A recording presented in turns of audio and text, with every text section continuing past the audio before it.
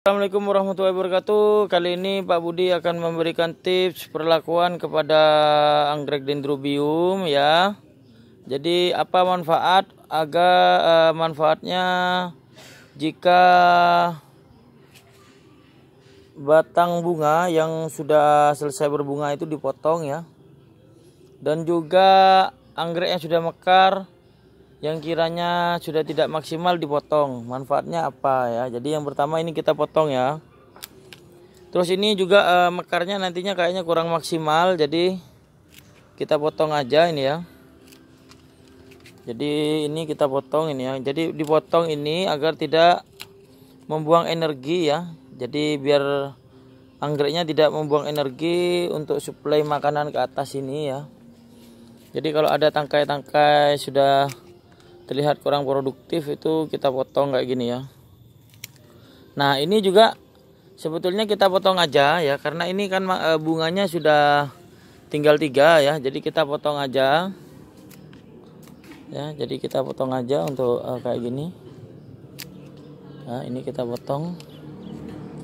Ini juga uh, nanti bunganya nggak maksimal ya di sini ada patah juga. Jadi kita potong juga sampai bawah ya ini. Ini juga uh, bunganya sudah tidak maksimal kita potong aja ya. Sebentar lagi akan Pak Budi jelaskan apa manfaatnya sebetulnya dari pemotongan ini ya.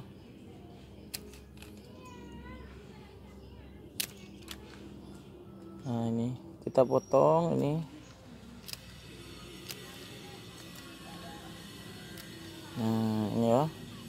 jadi ini kan sudah tidak maksimal berbunganya jadi kita potong aja.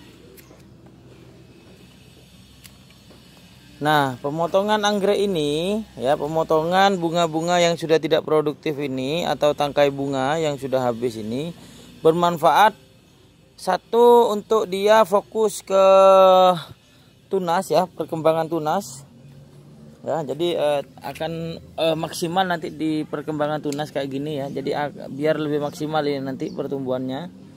Nah, setelah nanti kita potong otomatis si anggrek nanti lebih fokus ke pertumbuhan ya ke pertumbuhan keki dan pertumbuhan tunas ya. Jadi tunas baru nantinya. Kalau tidak dipotong itu akan membuang-buang energi ya jadi misalkan kayak gini ya, ini kan sudah tidak maksimal. Jadi nanti, eh, tapi ini memerlukan energi juga kan.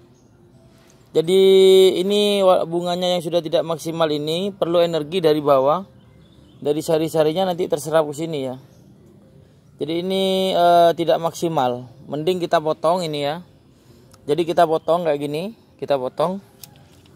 Kita potong kayak gini agar lebih maksimal lagi nanti di pembungaan selanjutnya ya jadi ini lebih maksimal nanti di pembungaan selanjutnya.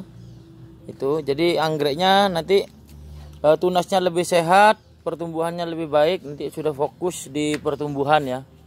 Nanti setelah recovery anggrek ini akan sehat lebih sehat dan juga berbunganya lebih lebat lagi ya. Tunasnya sudah oke. Itu tips dari Pak Budi. Jadi kalau ada e, bunga yang sudah tidak maksimal. Nah misal contoh kayak gini juga ya. Ini sudah harus dipotong juga ini ya. Nah ini ya. Jadi biar tidak ada energi yang e, terbuang sia-sia ini ke sini ya. Ini potong juga kayak gini. Ya. Ini potong. Jadi biar fokus dulu di recovery-nya ya. Jadi kalau ada tangkai-tangkai e, bunga yang sudah kelihatan sudah tidak produktif ya kita potongi aja. Jadi insya Allah nanti tunas-tunasnya besar-besar kayak gini ya sehat. Karena dia nutrisinya maksimal ya. Jadi dia fokus dulu di akar di tunas dan juga di pertumbuhan keiki nanti ya. Oke itu saja tips dari Pak Budi. Selamat mencoba dan ini sangat bermanfaat untuk teman-teman semua untuk dipraktekkan agar anggrek kita sehat tentunya ya.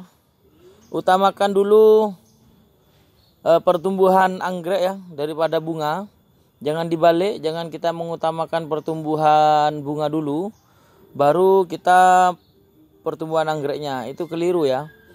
Jadi kita harus berupaya agar anggreknya itu sehat dulu. Setelah sehat, baru nanti si anggrek akan memberikan uh, juntai bunga yang lebih bagus. Jangan lupa like, comment, subscribe dibagikan agar Pak Budi selalu semangat memberikan video-video terbaru. Terima kasih. Salam dari Kota Jember.